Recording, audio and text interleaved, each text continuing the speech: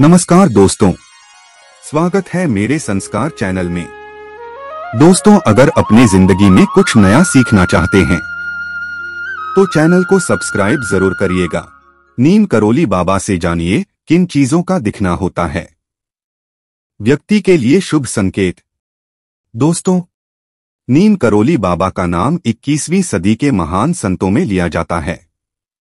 उनके द्वारा दिया गया ज्ञान आज भी कई लोगों का मार्गदर्शन कर रही है। नीम करोली बाबा के उपासक उन्हें हनुमान जी का अवतार मानकर पूजते हैं। दोस्तों, हिंदू धर्म में संत, महात्मा, ऋषि, मुनि एवं गुरु का गहरा महत्व है।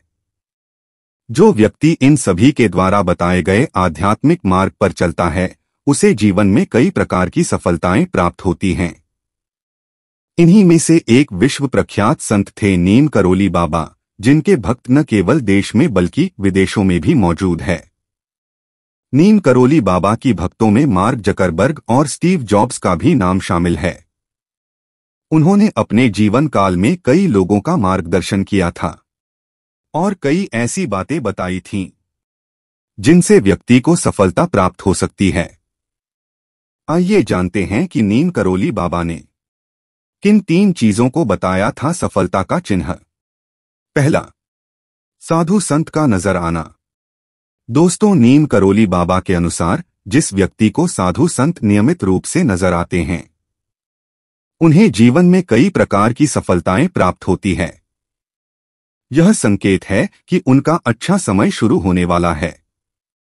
साधु संतों का नज़र आना इस बात का चिन्ह है। कि देवी देवताओं की कृपा दृष्टि व्यक्ति पर बनी हुई है। दूसरा, भावुक होना है अच्छे समय का चिन्ह। दोस्तों नीम करोली बाबा बताते हैं कि जो व्यक्ति हर समय सच्चे मन से भगवान का भजन और कीर्तन करता है, साथ ही भक्ति के समय उसके आँखों से आँसू गिरने लगते हैं।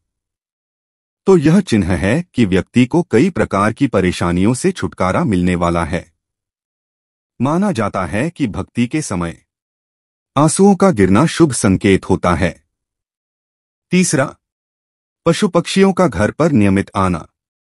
दोस्तों, नीम करोली बाबा बताते हैं कि जिस व्यक्ति के घर पर नियमित रूप से पशु पक्षी आते हैं, उन्हें यह समझ जाना चाहिए कि उनके लिए अच्छा समय आने वाला है। साथ ही देवी देवताओं की कृपा उन पर बरसने वाली है। पशु पक्षियों का आना सामान्य नहीं माना जाता है। यह शुभ संकेत होते हैं और इससे घर परिवार में खुशियाँ आती है।